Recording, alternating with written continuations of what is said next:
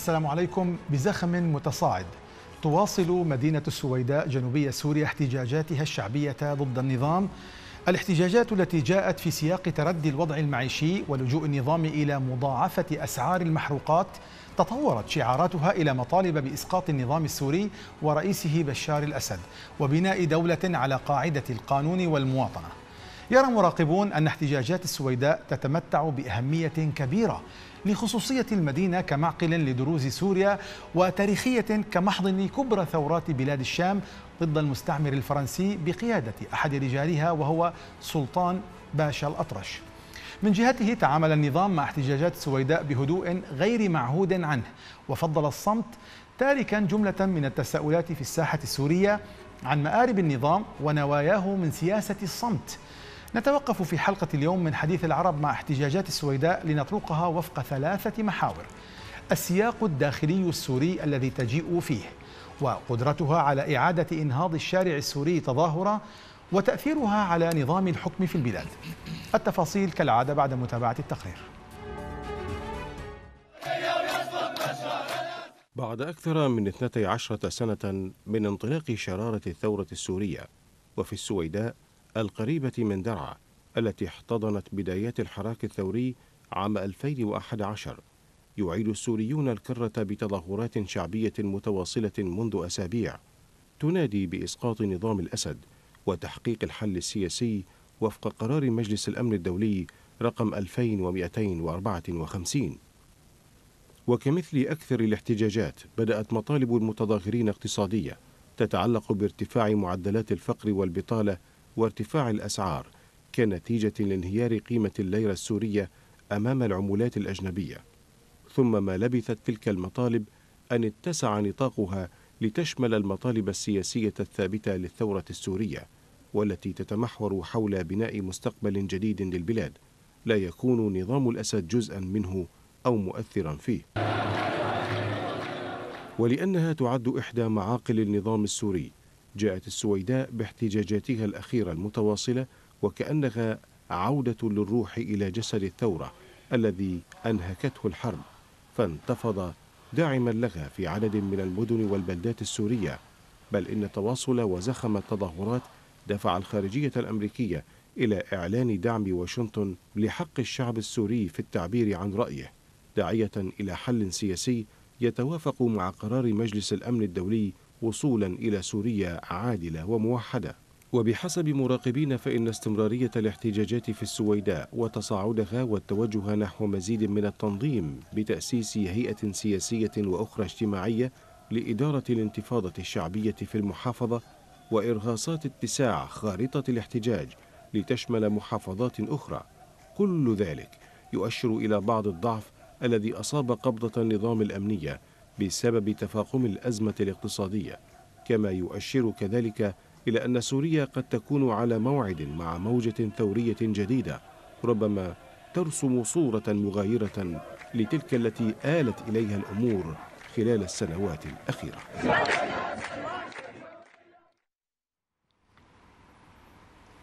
موضوع حلقتنا هذه نضعه على طاولة الحوار مع ضيوفنا الأعزاء نصر الحريري في الاستوديو الرئيس السابق للائتلاف الوطني السوري وياسر النجار الأكاديمي والباحث السياسي كما يشاركنا عبر يشاركنا عبر زوم من مدينة روتردام الهولندية آه، أسامة الملوحي رئيس هيئة الإنقاذ السورية. أهلا بالجمع الكريم. الاستوديو نبدأ.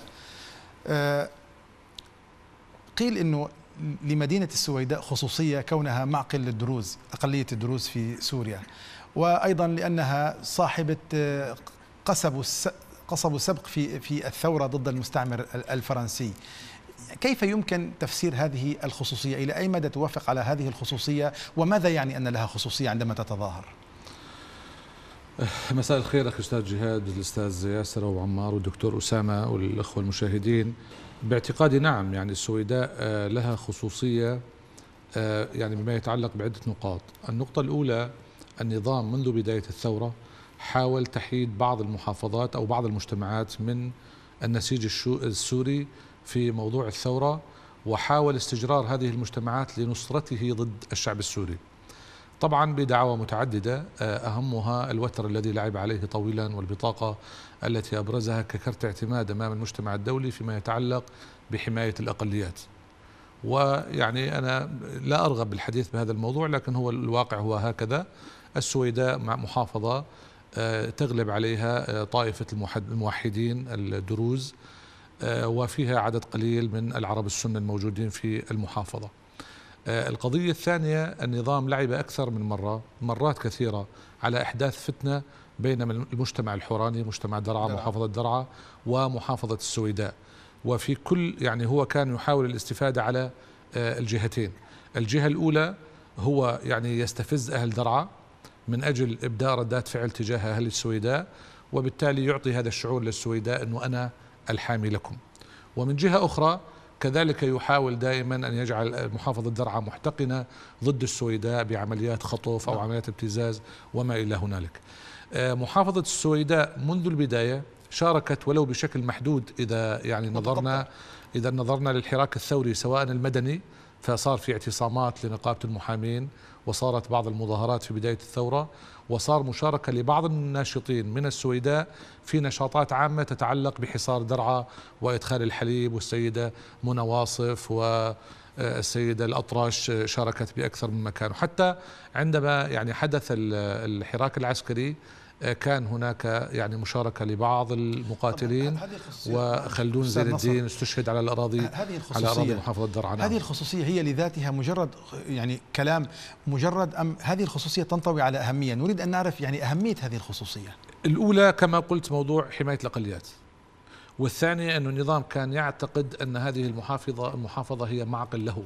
فبالتالي هي تشكل ذخيرة كبيرة سواء كان في الجيش والقطاعات الأمنية أو والأجهزة الأمنية أو بأجهزة الدولة المدنية الأخرى.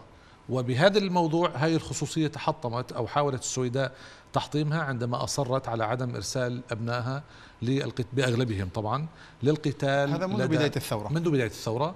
آه، حافظت على موقع الحياد تقريبا. فاستقبلت الكثير من العائلات السورية استأجروا وسكنوا في السويداء. على أنه في حينه في السويداء. دعني أتقمص الرأي نعم. الآخر. إجابات سريعة لو أذنت أستاذ نصر. يعني نظر إلى حينه هذا الاتفاق بين المحافظة والنظام على أنه مقايضة ومساومة.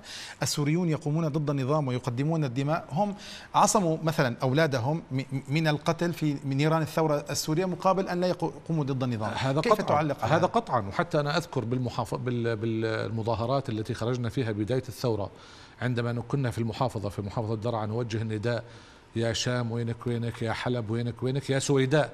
وينك وينك؟ لأنه أقرب طبعا. لأنه أقرب المحافظات لنا هي محافظات السويداء وفي وحدة حائل. عائلات وصداقات وتاريخ وإلى آخره.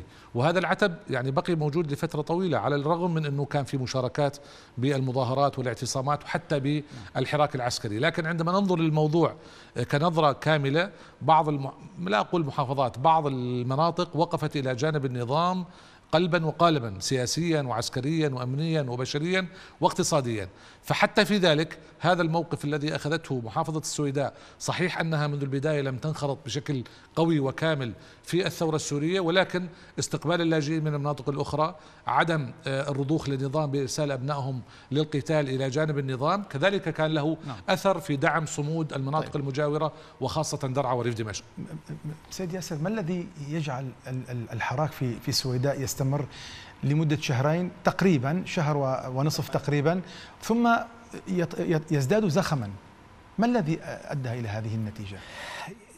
مساء الخير لكم ولمشاهدينكم ولضيوفنا دكتور نصر والدكتور نعم. أسامة يعني أعتقد حقيقة أن السويداء لها حالة خصوصية مجتمع متماسك له بعد آه، مشيخي يعني يسمون يعني يسمون أنهم آه، جماعة آه، المشايخ العقل الذين نعم. لهم دور كبير جدا في التعامل مع الشارع المتواجدين كلهم جلهم من طائفة الموحدين الدروز إذا تستطيع أن تقول في حال أنك تعاملت مع قيادات ليس النخب قيادات الحالة المشيخية معهم وكان موقفهم إيجابي وانتقلت إلى الحالة المثقفة أو النخب التي هي لطالما كانت معارضة للنظام منذ القديم يعني. وانتقلت إلى الحالة الشارع فأنت يعني تكتمل معادلة لديك بأنك فعلا تكسب المحافظة بالمجمل. هذا الأمر أعتقد أنه في حالة عندما يكون يعني إذا أردنا القياس على المحافظات الكبرى لا نستطيع أن نحقق مثل هذه المعادلة. يمكن أن تتحقق مثل هذه المعادلة في المجتمعات العشائرية أو المجتمعات الدينية التي كما ذكرت منغلقة أو مغلق عليها بشكل ما. أنا قصدت من سؤالي سيد ياسر أنه لماذا استمرت شهرين يعني 40 يوم ويزداد زخمها؟ هل مرد ذلك إلى هدوء النظام في تعامله مع بخلاف المدن السورية الأخرى أم لاستقرار المعرفة لدى النخب السويداء بأن النظام يعني أفلس ولم يعد لديه شيء أم ثمة ربما ارتباط بجهات أخرى؟ يعني الأسباب التي أعطتها هذا الزخم. يعني أتصور كل هذا الأمر يمكن أن يدرس على حدة بمفرده ولكن أنا أريد أن أن أصل إلى نتيجة. أن الشارع في السويداء هو صحيح أنه تجاوز المحرمات بالنسبة للنظام التي لم يسكت على مثل هذا التجاوز في محافظات أخرى ولكن عامل الزمن له دور كبير جدا. أنت لا تتكلم في عام 2011 عندما كان النظام يريد أن يطفئ كل جذوات التي تشتعل للثوره في كل مكان بأي وسيلة كان.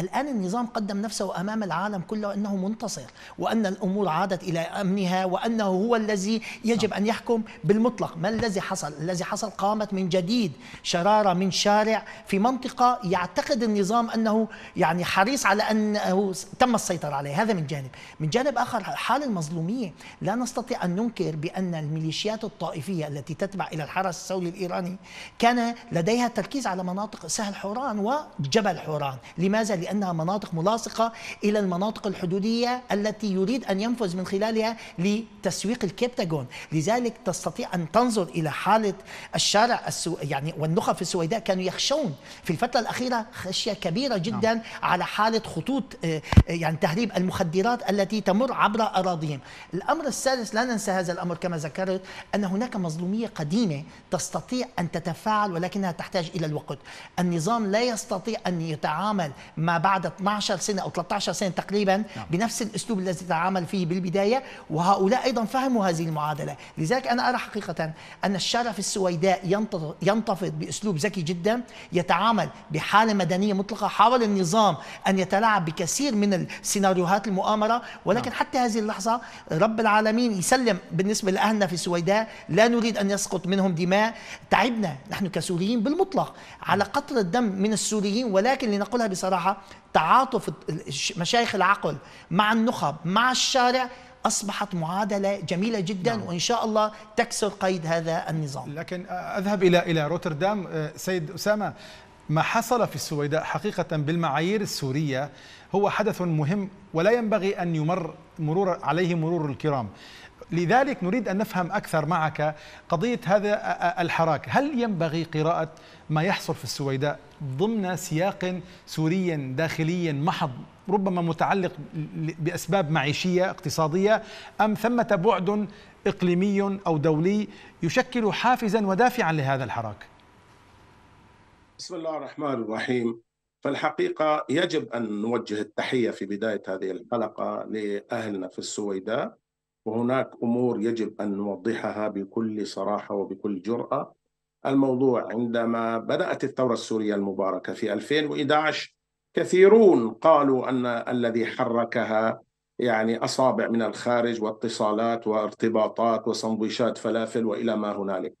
قد يكون هناك سبب مباشر اقتصادي والأمر الجميل الرائع أن هذا الأمر الاقتصادي كسبب مباشر تحول مباشرة أو وصل إلى الحالة الثورية التي كانت في 2011 نحن بكل ظروف السويداء نعرف ونعلم أن ظروفها خاصة وأنهم يعني مجموعة بشرية قليلة نسبيا إلى ما هنالك ونستطيع أن نعطيها العذر بعد أن قامت بتوقيت آه، فريد من نوعه توقيت فريد من نوعه. يعني كل المحافظات نسبيا عدا المناطق المحررة ساكنة واستطاع النظام حسب تقديري بأنه أخمد كل شيء في كل المحافظات.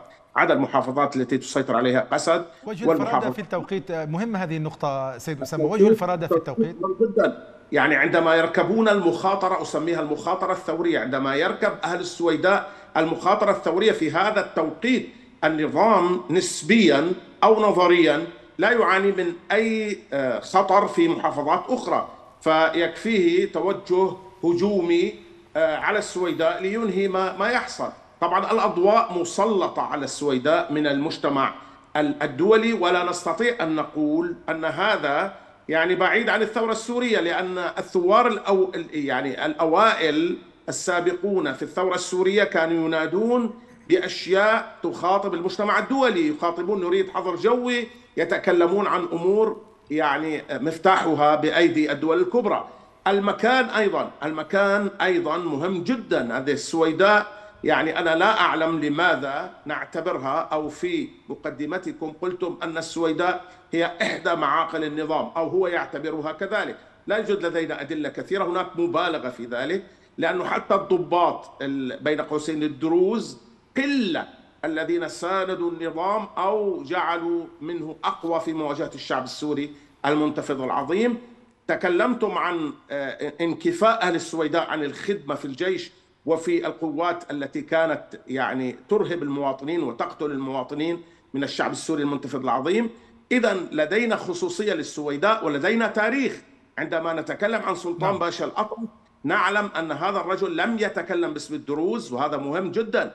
وآوى ثوار الغوطة يعني كان هناك كتب كثيرة جدا للسفرجلاني وغيره تتكلم عن لجوء ثوار الغوطة إلى جبل العرب ولم يحدث في التاريخ أن غدرا يعني حصل من أبناء محافظة السويداء تجاه الأكثرية دعنا نسميها من العرب السنة هذا لم يحصل طيب. لا في التاريخ ولم نشهد صراع طائفي مبعثه حقد طائفي من طائفة الدروز تجاه العرب السنة نعم. أه، نعم. أنا أقول بكل وضوح وبكل صراحة يجب علينا أن لا نقول أن الدروز هم أقلية لقد أثبتوا أنهم فعلا ينتمون إلى الأكثرية السورية الوطنية ومواقفهم في التاريخ ومواقفهم الآن يعني من مئة سنة عندما نذكر أول معركة خاضها يعني سلطان باشا الأطرس في في مدينة الكفر خاضها مع البدو الذين يعني الذي النظام ماذا فعل؟ أشعل الفتنة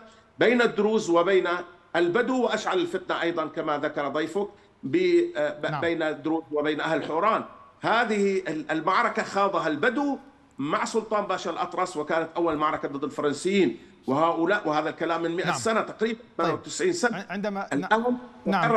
معذره عندما عندما يقول التقرير بأن السويداء كانت إحدى معاقل النظام فربما لا يعيب هذه المدينة لأن درعا كانت من معاقل النظام ومع ذلك هي ثارت على النظام وأشعلت ثورة في سوريا كلها وهذا مستقر في الشارع السوري نكمل حديثنا بعد العودة من فاصل قصير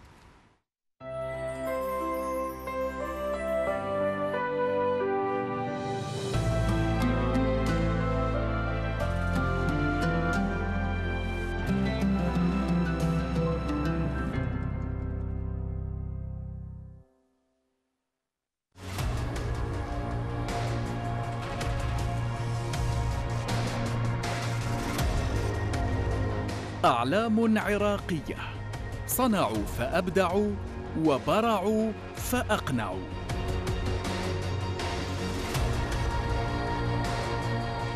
مجالات ريادية صنعت الحياة في الطب والهندسة. الفن والتاريخ الاكتشاف والمعرفة. نطرق بابها ونفتح كتابها.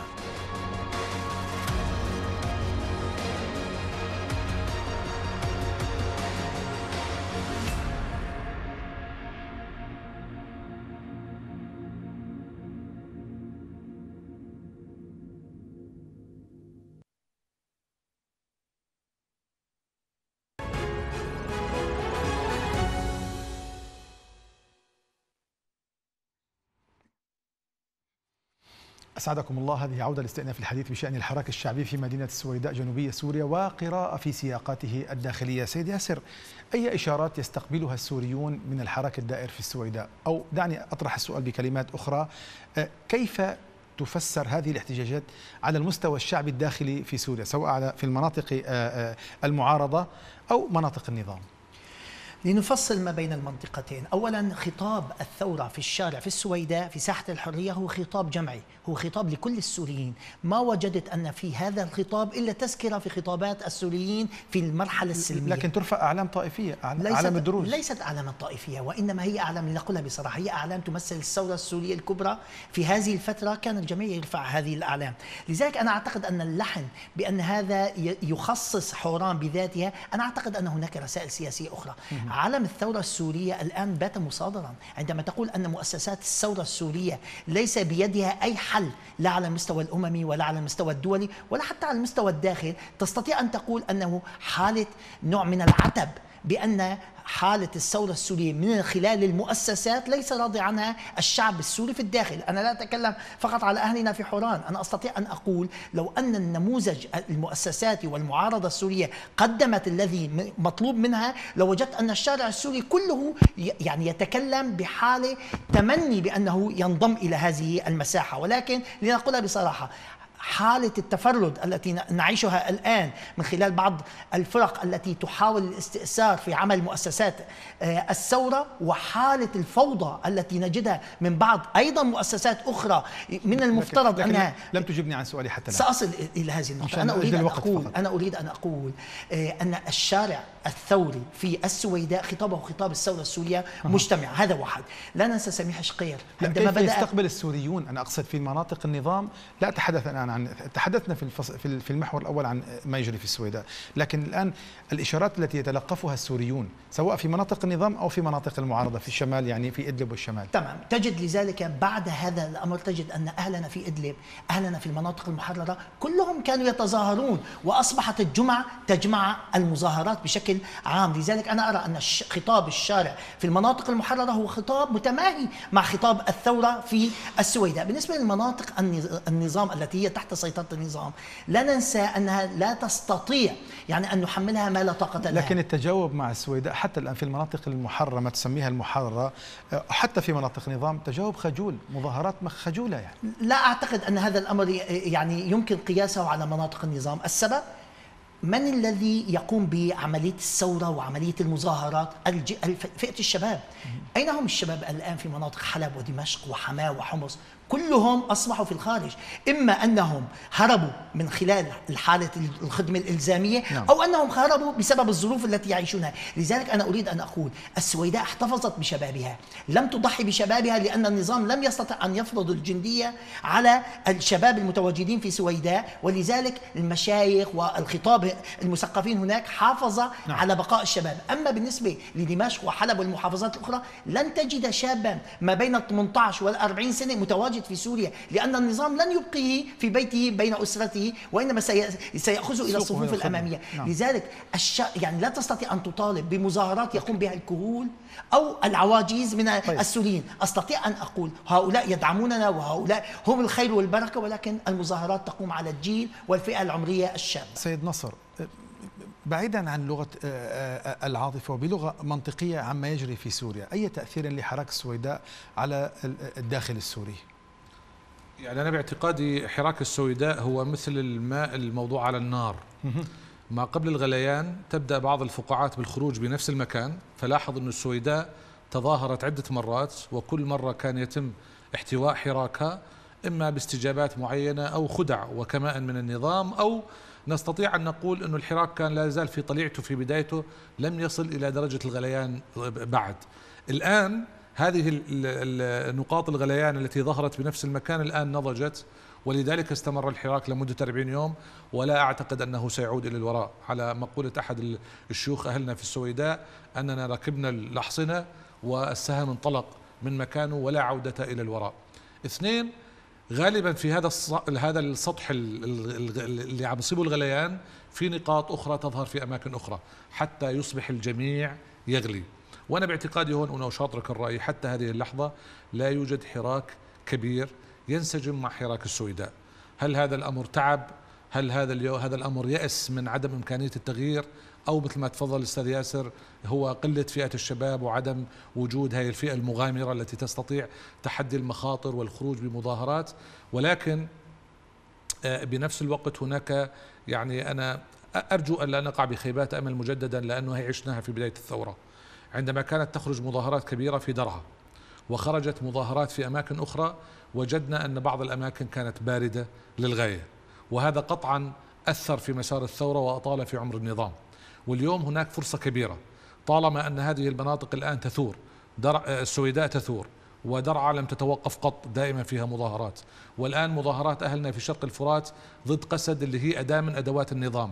فاليوم الفرصة كبيرة جدا لتحرك في مناطق متعددة والنظام في أغلب الأحيان لن يستطيع أن يقوم بحملاته العسكرية التي كان يقوم بها سابقا لأنه هو ضعف ومؤسساته انهارت والجو لا يسمح غالبا بمثل هذه الإجراءات. ولكن حتى لو لم تتحرك هذه الأمور هذه المناطق أستاذ جهاد. اليوم نحن في سوريا نعيش معادلة غير قابلة للحل.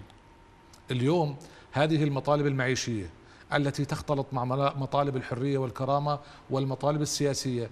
النظام لا يستطيع أن يفي بأي من متطلباتها فلا هو قادر على استجابة للمطالب المعيشية ولا لمطالب الحرية والكرامة ولا للمطالب السياسية. هو يعطل يعطل العملية السياسية منذ سنوات ولا يستطيع تقديم نعم. فيها أي شيء.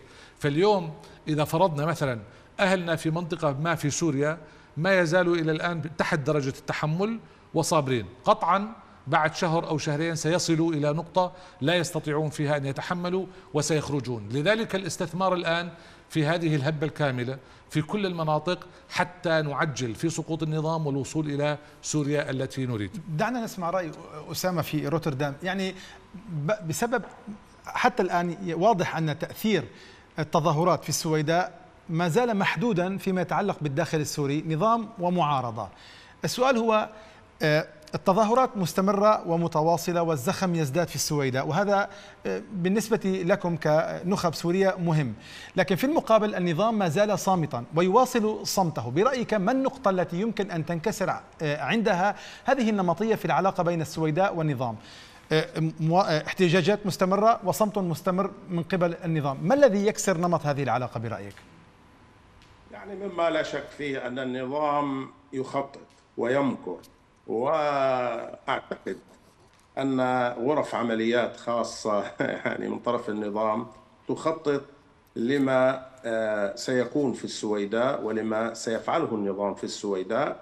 وأول التخطيطات نحن نعلم ليست سلمية وإنما مخابراتية من تحت الطاولة قبل أن يستخدم العنف. استخدامه للعنف مما لا شك فيه يختلف عن 2011 لأن الأضواء مسلطة الخارجية الأمريكية علقت دول أخرى علقت ولكن يجب علينا أن نسلط الضوء على المكر المقابل لصالح أهلنا في السويداء من مؤسسات يعني يقال عنها ثورية. هذه المؤسسات أو حتى لو تجمعات من المعارضين لا نجد أي أثر لا لتخطيط ولا لبرنامج دعم لأهلنا في السويداء. سوى نحن في أوروبا قمنا لحد الآن بثلاث مظاهرات ويعني لدعم أهلنا في السويداء ولكن يعني في أوروبا ولكن حتى في المحرر يعني هناك مظاهرات مساندة لكن أقل من اللازم. نتكلم عن الائتلاف لكن سيد أسامة معذرة منك يعني أريد جوابا عن سؤالي. يعني إلى أين تسير العلاقة بين بين هذه شكل العلاقة بين هذه التظاهرات المستمرة وصمت النظام المستمر؟ بمعنى ماذا بعد ذلك الخطوة التالية؟ النظام غير صامت. هذا بداية جوابي يعني عن سؤالك. أنا أجيب مباشرة. النظام يعني غير الآن من خطته أنه لا يستخدم العنف والتدبيرات من تحت الطاولة مستمرة. لكن أهلنا في السويداء هذه المرة كما أخبرنا ناشطون تعرفونهم ولكن لا داعي لذكرهم في الخارج قالوا لنا بأن أهل السويداء استطاعوا أن يغلقوا الخرق الأمني. الذي هو أخطر قضية أصابت الثورة السورية المباركة. الخرق الأمني أغلقوه إلى درجة كبيرة وهم موحدين إلى درجة يعني كافية منظمين إلى درجة كافية. لذلك نحن نتوقع منهم أن يستمروا وأن يصمدوا ولكن مكر النظام الآن يدبر يخطط يرتب. طيب. ولذلك يجب علينا أن نمكر لصالح أهلنا في السويداء. أن نخطط أن نفعل شيئا. نحن ك كما قلت كطليعة ثورية أو كمؤسسات ثورية. يجب أن نفعل شيء لكي نساند أهلنا في السويداء. نعم. لكن أن ننتظر كما تقول أنت القرار الشرارة التي يريدها النظام ليتدخل سواء بطريقة مخابراتية سرية أو بشراء الذمم أو بطريق المواجهة المسلحة نحن ننتظر. يجب علينا أن لا ننتظر ويجب علينا أن لا نعتبر أهل السويداء من الأقليات ابدا تاريخهم وواقعهم الآن يثبت أنهم نعم. ليسوا بأقلية وهم مع يعني جموع الشعب السوري طيب.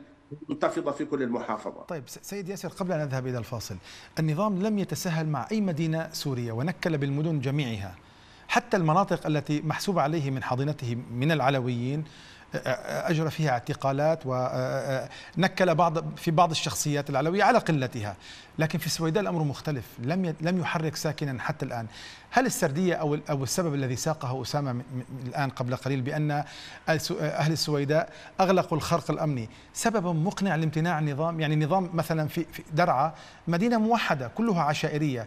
لا يمكن القول أن هناك خرقا امنيا. مع ذلك طحنها بالطائرات والدبابات والمدافع. لماذا يصمت في السويداء؟ يعني تعامل النظام مع مدينة السويداء بطريقة يعني الانقضاض السريع. يعني مثلا من الذي قتل الشيخ وحيد البلعوس؟ النظام الذي قتله. الآن النظام لديه يعني سيناريو أنه حامي الأقليات لديه سيناريو أن المعركة انتهت وأنه انتصر وسيطر على كل سوريا. لذلك أنا أعتقد أن النظام لا يريد أن يعني أن يخرب ما بناه أمام الرأي العام العالمي. هو يريد أن يقول أن هذه أزمة ستمضي وبشكل يعني لا لا يدركها الناس. وخصوصا نرى الآن أن بعض الوكالات الأنباء العربية والإعلام العربي لا يتعاطى بشكل إيجابي مع هذا الأمر.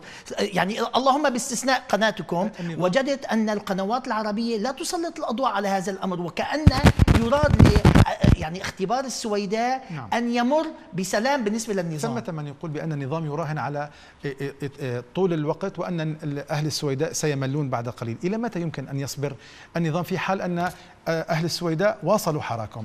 طالما الأمر يبقى منحصرا في منطقة السويداء ولا يشكل خطرا بالانتقال إلى الخارج سيظل النظام يستثمر بأنه لا يريد أن تنتشر الشرارة. ولكن أنا أريد أن أقول نعم. تاكيدا لأخينا أسامة لماذا يعني من يدعي أنه يمثل الثورة السورية؟ كان هناك اجتماع الجمعية العمومية للأمم المتحدة الدورة 74 لم يذكر أن المعارضة السورية قدمت ما يحصل في السويداء وأن هذه المظاهرات تعبر عن رأي الشعب السوري بالمجمل. أنا أعتقد أن المسؤوليه الآن لا تقع على باستمرار ما يحصل في السويداء على أهل السويداء وإنما أيضا يقع مسؤولية على ممثلي الثورة السورية أن يتصدروا على الأقل تسويق ماذا يحصل في السويداء نعم. ويظهروا للعالم أجمعين أن هذا النظام لم يصل إلى ما, ما أراد أن يسوقه في السابق أنه انتصر وأن الأمور باتت يعني قاب قوسين أو أدنى انتهى الأمر الآن لدينا فرصة وأعتقد أن هذا النموذج فيما إذا قدم بأنه ينشر ما يحدث في السويداء سيكون هناك فعلا تضافر جهود على مستوى المحافظات وسيكون ثقة من جديد بمن يمثل الثورة السورية. لكن في هذا السياق يبقى السؤال الأكبر هو إلى أي مدى هذه التظاهرات في السويداء ستؤثر على بنية النظام؟ هو ما سنطرحه بعد وقفة أخيرة.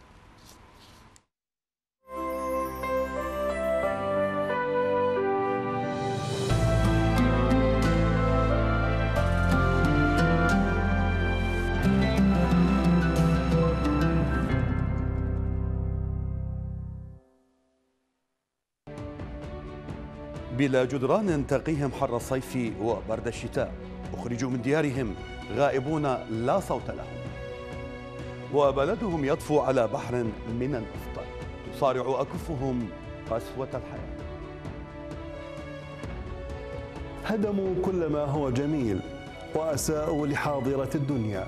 حتى استغاث منهم تراب الرافدين. لكن أحفاد ثورة العشرين سيكسرون القيد. ويبذلون المهاجاة ويعيدون الحياة.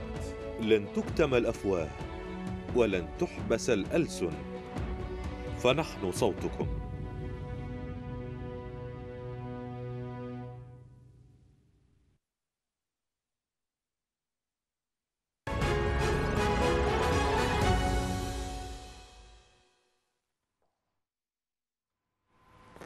أهلا بكم إلى الجزء الأخير من هذه الحلقة. سيد نصر ثم أنت قلت بأن تظاهرات السويداء تسحب ورقة حماية الأقليات من النظام ثمة من يرى أن هذا هذا التبرير أو هذا التعليل قد يكون سببا في خلخلة ما تبقى من بنية النظام ما مدى دقة هذه الرؤية؟ يعني هلا قبل أو مع حراك أهلنا في السويداء كان هناك نقاط غليان بدئية موجودة في مناطق أخرى سواء في الساحل السوري وهو مهم أو حتى في المحافظات التي دخلت تحت التسويات القسرية بجرائم النظام وإيران وروسيا. لكن تحولت هذه الأصوات المعارضة في الساحل السوري إلى فقاعة. يعني الآن هم يقولون أن مقام الرئاسة محفوظ. تماما. هلا نحن آه تمام 100% بس حتى قبل هذه الأصوات كانت تخرج أصوات وتأتي تقارير آه عن معاناة أهلنا بالساحل مثل ما بتعاني كل كل السوريين. إلا الفئة المتكسبة والمرتزقة والشبيحة اللي حوالي النظام هذول اللي قتلوا البلد ودمروها وسرقوا كل خيراتها وحتى في المناطق اللي قلنا بالتسوية التسويات القسرية اليوم هذه المناطق تتململ وخاصة أنها تعيش ظروف صعبة. هاي نقطة. النقطة الثانية اليوم هذا الحراك الذي يجري في السويداء بصورة رئيسية وفي درعا وشرق الفرات كمان بشكل مرافق هذا يؤدي إلى رسالة معنوية كما تفضل الأستاذ ياسر قبل قليل آه، تهشم صورة النظام الذي ادعى أنها خلصت وأنه انتصرنا على الإرهاب وأنه سوريا بخير.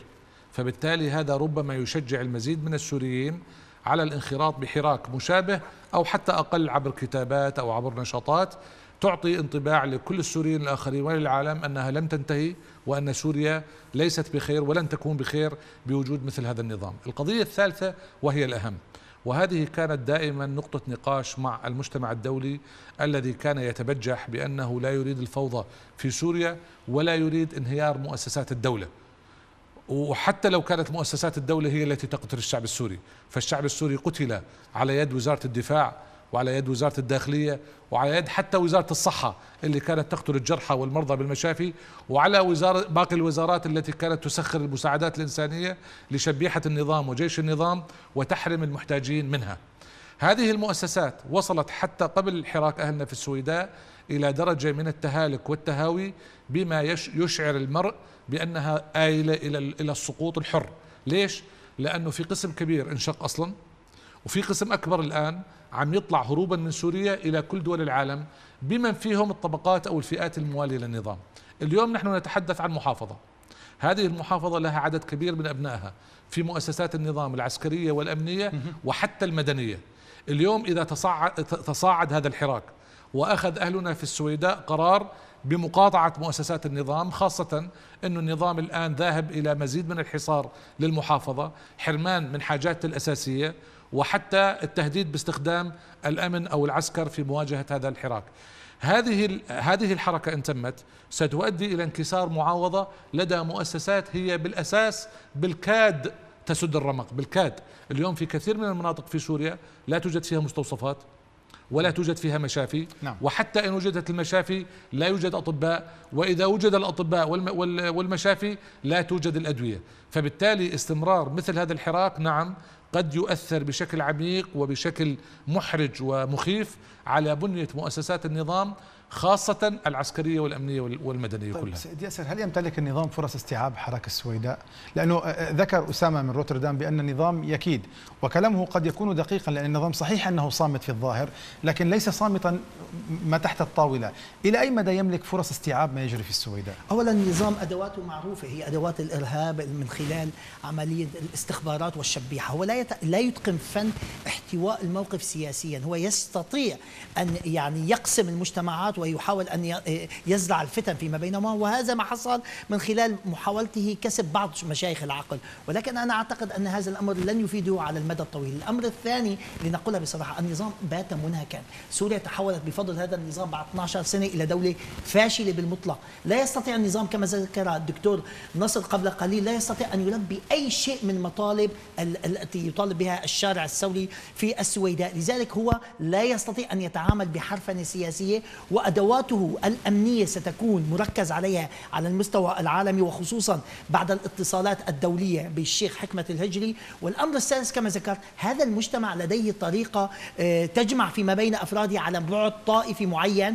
إذا ما يعني سار هذا الشارع فستكون هناك ويلات كبيرة على النظام سيما وإذا علمنا أن لهم حالة تاريخية يتكلمون عن ثورة آه، سلطان باشا الأطرش أي الثورة السورية الكبرى. والأمر الأخير الذي أريد أن أركز عليه أن هذا النظام بالمجمل آه، بات يعني في حالة ضعيفة جدا. حتى الأنظمة العربية التي كانت في طور التطبيع معه سقط في يدها عندما وجدت أن محافظة بكاملها محافظة بكاملها بقضها وقضيضها تقوم ضد هذا المجرم. إذا بشار الأسد الذي أوصل سوريا إلى دولة فاشلة الخطاب السوري الذي يقول أن هناك احتلال إيراني يسيطر على أدوات ويبيعها الأرض بشار الأسد لهذه سلطات الاحتلال لا يوجد أي ثقة. لذلك الدول التي كانت تراهن على أن بقاء النظام يعني بقاء المؤسسات وبالتالي بقاء الدولة أصبحت هذه المعادلة غير محققة. وأصبح الخطاب يقول أن بقاء الشعب هو المضمون وبقاء الأرض هي المضمونة ولكن لكي تبقى سوريا في حالة آمنة يجب عليها أن تتحقق فيها القرارات الدولية 2118 و 2254 يجب أن يكون هناك استقرار سياسي في سوريا حتى يضمن الأردن أن لا يكون لديه تهريب من المخدرات حتى تضمن تركيا أيضا أن لا يوجد تهريب للإرهابيين باتجاهها. لذلك بقاء بشار الأسد يعني خطرا على الدول المحيطة في سوريا وخطرا على الأمن والسلم الدوليين. إزاحة بشار الأسد يعني استقرار لسوريا استقرار لحالة الدولة السورية وإبقاء الحقيقة المؤسسات وليس شكل وظاهر المؤسسات التي أوحى بشار الأسد أنه يضمن أي أنه يضمن بقائها. كان من المقرر أن نعود إلى روتردام لكن خللا فنيا يحول دون هذه الرغبة. آه، آه، سيد نصر الآن ما المسار بناء على مراقبتك للوضع آه، الداخلي ما المسار الذي يمكن أن تسلكه التظاهرات في السويداء بما يؤثر على الحالة السورية بالمجمل؟ يعني اليوم المظاهرات إذا تركت لسجيتها لطبيعتها دون تدخل من النظام لا أعتقد أنها أن المتظاهرين سيعودون إلى إلى بيوتهم. وباعتقادي من الخطأ كمان الاستخفاف أو الاستهانة بالمظاهرات لأن المظاهرات تعني بشكل من الأشكال تحريض لباقي السوريين على التظاهر ضد هذا النظام الضعيف الذي لم يعد بحوزته ولا بقدرته مواجهة أي حراك. اثنين فشل في مؤسسات الدولة لأنه هذول المتظاهرين والمعتصمين اليوم هم جزء من هذه المؤسسات. وعلى فكرة آه، أكثر عام تم فيه تقديم استقالات من الدولة السورية هو عام 2023 لماذا؟ لأن الراتب الشهري على الرغم من أنه المجرم بشار الأسد زادوا إلى الضعف لا يكفي أسبوع أجور النقل هاي إن وجدت أجور النقل التي نعم. أضربت عن العمل فبالتالي أصبحنا في يعني في كركبة وفي دائرة معيبة لا يمكن الخروج منها آه، مسار هذا المسار الموجود نعم. آه، واحد إنه يحرض على التظاهر في مناطق أخرى عندما تنضج عندما تنضج بنفس العوامل التي أنضجت حراك السويداء اثنين إذا النظام قرر المواجهة الأمنية والعسكرية لا أعتقد أنه أهلنا في السويداء سيكونون لقمة سائغة نعم. خاصة وأنه في الكثير الكثير ممكن أن يتضامن في هذا الحراك وتدخل سوريا في حلقة من العنف نعم. مجددا. وهذه الحلقة من العنف لن تستطيع كل الأطراف تحملها ولكن يمكن أن تجبر عليها. وحتى أبناء السويداء منتشرون بكثرة في, في قيادات عليا في الجيش والأمن طبعا وإلى آخره. لكن دعني أعود طبعا. إلى أصبح جاهزا.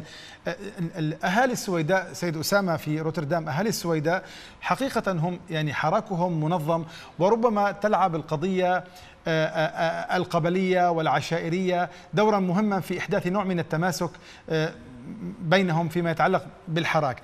لكن الملاحظ أنهم سريعا أسسوا هيئة سياسية قدمت رؤية للمجتمع الدولي رؤية أهالي السويداء للحل في سوريا. ومن ضمن ذلك أنه آه، آه، ركزوا على قضية اللامركزية الإدارية. يعني بمعنى أنه شيء ما يشبه نوع من آه، أن يحكموا أنفسهم ضمن سلطة مركزية في سوريا. إلى أي مدى برأيك؟ وهذا كلام مطروح في الشارع السوري.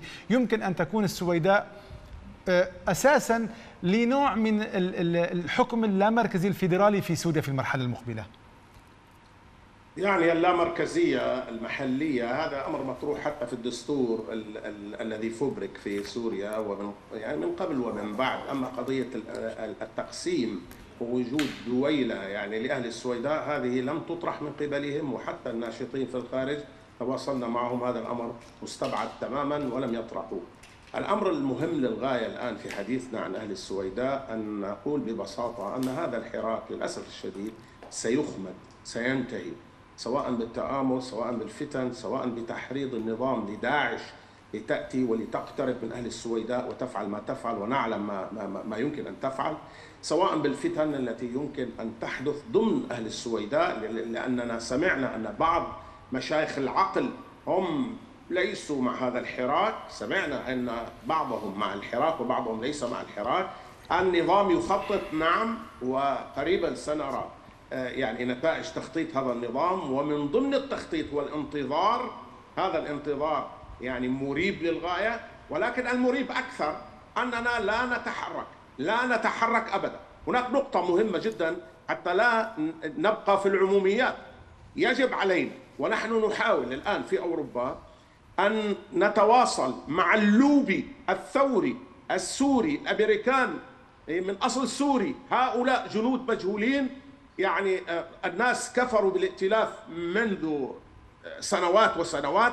اليوم لدينا هذا اللوبي سنتواصل معه ليتمكن كما تمكن مرارا من إصدار قوانين وضغوطات على الكونغرس ضد النظام الفاشي الأسدي. علينا أن نتواصل معه ليوصل الصوت داخل الكونغرس ويفعل ما يستطيع أن يفعله لنصرة أهلنا في السويداء. هذا الحراك سينتهي. ولن يطول إلا لشهر أو شهرين. وراقبوا التوقيت النظام لا يمكن أن يسكت. هو فقط يتجنب الأضواء المسلطة اليوم على السويداء حتى لا تحصل ردات فعل دولية وإقليمية. نعم. النظام فاسد وضعيف نعم. ولكن كل المعارضة بما فيها الفصائل لا تفعل شيء للإجهاز على هذا النظام. سينفرد بأهلنا بالسويداء للأسف الشديد وسيفعل ما يفعله نعم. دائما. واليوم واليوم عفوا اليوم النظام يراهن على دعم روسيا ودعم إيران ودعم الصين فهو لن يفعل إلا أن يكمل بيع سوريا ويأخذ اللازم والموافقات نعم. والضغوطات الدولية بما فيها حق النقد في مجلس الأمن ليفعل ما يفعل تجاه السويداء وتجاه نقاط باقي المناطق السورية الثانية. نقاط نقاط مهمة وعملية طرحها أسامة. يعني الآن أهل السويداء ربما لا يحتاجون كثير عاطفة من باقي السوريين كما يقول بقدر ما يحتاجون إلى عمل منظم. وأنت تعرف يعني مؤسسات الثورة متكلسة وتعاني من من من آليات في اتخاذ القرار وليس لديها فعالية كبيرة. ماذا يمكن أن يفعل المجتمع الثوري لاهالي السويداء حتى يستعيدوا نشاطهم؟ يعني اولا أنا أريد أن أطمئن يعني المشاهدين وأيضا الأخوة الضيوف على أن النظام السوري ساقط لا محالة. هذا النظام بأسلوبه بعد أن باع الغالي والرخيص لإيران ولروسيا لا يستطيع البقاء لأنه ليس لديه أدوات البقاء. هذا من جانب. الأمر الثاني أنا أعتقد أن تمثيل المؤسسات المعارضة كما ذكر الدكتور أسامة منذ فترة طويلة هي في حال تكلس كما ذكرتم ولكن الآن لدينا فرصة لا نستطيع أن نبقى نراقب هذه المؤسسات أن تقدم على هذا الأمر. يجب علينا أن يكون لدينا نوع من الضغط المباشر على هذه المؤسسات بحيث إما أن تقوم بواجباتها أو نستثني هؤلاء الثلة الذين يتصرفون بهذه المؤسسات باتجاه الغرق وليس باتجاه مصلحة السوريين. أنا أريد أن أقول ما يحدث في السويداء اليوم اليوم هو مصلحة للثورة السورية هو مصلحة أيضا لكل الشعب السوري ويجب أن يأخذ حقه. لماذا حتى هذه اللحظة لا نجد أن هناك مؤتمرات ونشاطات ترعى هذا معذرة سيد ياسر طرح أسامة نقاط مهمة وعملية بما يتعلق بمخاطبة اللوبي ما سماه اللوبي الثوري السوري في أمريكا وهو ذو تأثير هناك. ما الذي يمنع من مخاطبة هذا اللوبي ووضعه في الصورة؟ أولا اللوبي أو المجلس السوري الأمريكي السوري هؤلاء هم من, من يعني من, من يدعمون الثورة وهم يتابعون الأمر ولكن لديهم مشكلة. عندما يخاطبون congressman أو أي جهة رسمية البيت الأبيض يقولون لهم أنتم تستطيعون أن تضغطوا في مسارات موجودة على طاولة البحث قانونية داخلية في الأمر. ولكن لا تستطيعون أن تزعوا ملف سياسي. يجب على مؤسسات المعارضة أن تطرح الملف السياسي وأنتم تضغطون لتفعيل هذا الملف. إذا لا هذا ما وجدناه في حالة العشائر. أهل السويداء قدموا ملف سياسي. أنا أعتقد أن ما حصل في موضوع العشائر ضد قسد كان المجلس السوري الأمريكي أو الأمريكي السوري يقف متفرجا لماذا؟ لأنه عندما أراد الحديث قالوا له بأن هذا الأمر يجب أن يعني يطالب به مؤسسات الثورة، الآن ما يحدث في السويداء يجب أن يكون تمثيل الثورة يخاطب وعندها تعمل اللبيات وتعمل الحراك المدني والمنظمات المجتمع المدني في نعم. تسويق هذا الأمر. علما أن أهالي السويداء شكلوا هيئة سياسية وقدمت رؤية لطبيعة الحل في سوريا ويبقى الباقي على مؤسسات المعارضة السورية إن كان بقي هناك مؤسسات ختاما مشاهدي الكرام أشكر ضيوفي المشاركين معي في الاستوديو نصر الحريري الرئيس السابق للائتلاف الوطني آه، السوري وكذلك ياسر النجار الأكاديمي والباحث السياسي وكذلك كان معنا من روتردام أسامة الملوحي آه، رئيس هيئة الإنقاذ السورية. شكرا لحضراتكم على كرم المتابعة في حراسة الله.